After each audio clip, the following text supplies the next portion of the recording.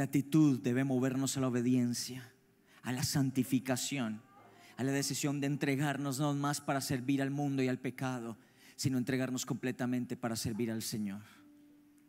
La gratitud te mueve, en segundo lugar, a aceptar su perdón y a perdonar a otros.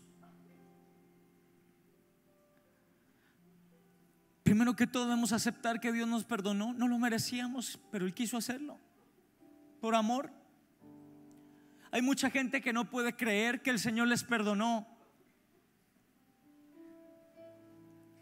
Jovencito que estás hoy aquí, si un día tuviste arrepentimiento en tu corazón y dolor por haberle fallado a Dios, y fuiste con sinceridad a su presencia y le dijiste, Señor, por favor, perdóname. Ten la seguridad de que su perdón está sobre tu vida.